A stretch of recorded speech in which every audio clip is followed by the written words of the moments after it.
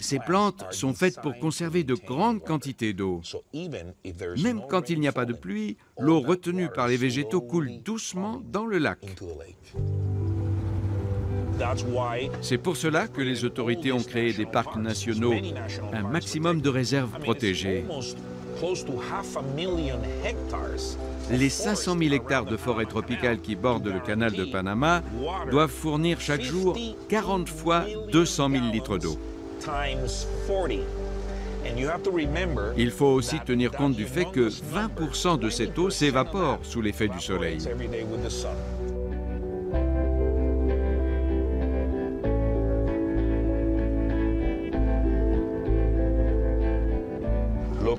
Regardez ce nid.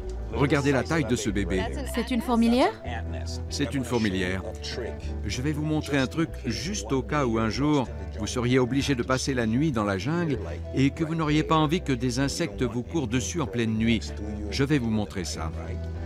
Venez voir. D'accord. Voici le nid de fourmis aztèques. Regardez.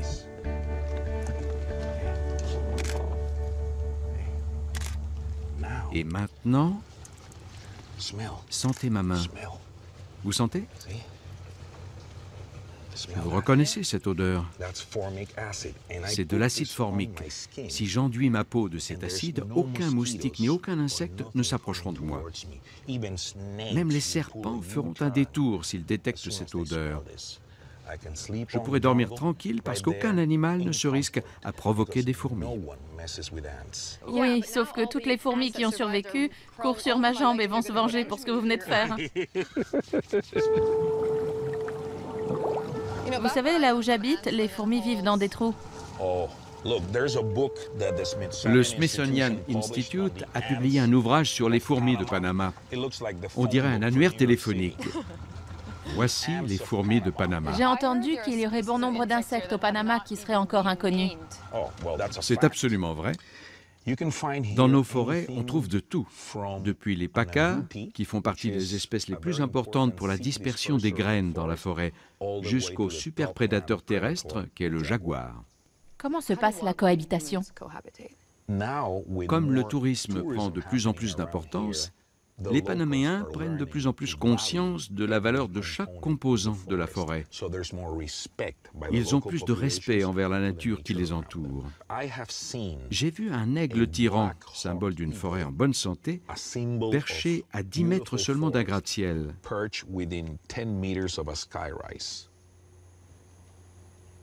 C'est fantastique. On voit régulièrement des toucans voler au-dessus des faubourgs de Panama City. C'est formidable. Quand vous allez visiter un site isolé au Panama ou dans un autre pays d'Amérique latine, que vous vous rendez dans un village indigène, on constate que la forêt alentour souffre parce que les villageois y chassent régulièrement, alors que ce n'est pas du tout le cas ici. À Panama, les gens peuvent faire leurs courses dans un supermarché. Ils n'ont pas besoin d'aller chasser dans la forêt. Si un touriste me demande où est-ce que je peux voir des singes, est-ce que je dois aller au fin fond de la jungle d'Arien? Je réponds non. Dans le parc naturel métropolitain, on peut voir des singes hurleurs, des pinchés à nuque rousse, deux espèces de toucans au total, plus de trois espèces d'oiseaux. Le parc naturel métropolitain se situe entre les quartiers les plus denses de Panama et le plus grand centre commercial de la ville. Ce parc naturel est situé entre ces deux zones urbaines densément peuplées. C'est unique. La diversité de la forêt panaméenne est si riche qu'on l'utilise pour de nombreuses expériences scientifiques. Au centre du parc, une grue offre un accès unique aux couches supérieures de ce tapis de verdure. Il est impressionnant de voir à quel point nature et ville cohabitent bien. On va monter à près de 30 mètres de hauteur, juste au-dessus de la canopée. On découvrira ainsi le point de contact entre le sommet des arbres et le ciel. Ce sommet s'appelle la canopée. C'est la partie la moins connue de l'écologie des forêts parce que ce n'est pas facile d'y accéder. On va vraiment très haut. Tu vas voir. On va profiter d'une merveilleuse vue sur la forêt, mais aussi d'une très belle vue sur la ville. On appelle ça l'accessibilité forestière. On ne s'attend pas du tout à émerger au-dessus de ces arbres. Tu vois les marqueurs sur ces arbres? Il y en a des bleus, des oranges. Ça veut dire qu'un scientifique effectue des recherches ici. Je peux venir récupérer un piège que j'ai posé ici pour vérifier le type d'insectes qui colonisent la zone. Et là, cette feuille, aucun être humain ne l'a peut-être jamais touchée avant moi. Là, regarde. Tu vois là-bas? Oh oui. Là-bas. Il y a en moyenne 6 à 7 paresseux par hectare de forêt. Il y en a donc pas mal. Mais parfois, on ne les voit pas parce qu'ils sont lovés dans un paquet de branches. Comme tu peux le voir, c'est une façon fantastique de découvrir les animaux.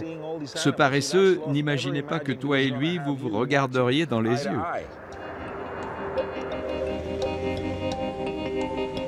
Avec la mondialisation, le commerce maritime est en plein essor. Le canal de Panama est en demande croissante et de plus en plus profitable. La nouvelle ville riche de l'Amérique centrale est en plein développement. Entre forêt et océan, elle est chaleureuse et invitante.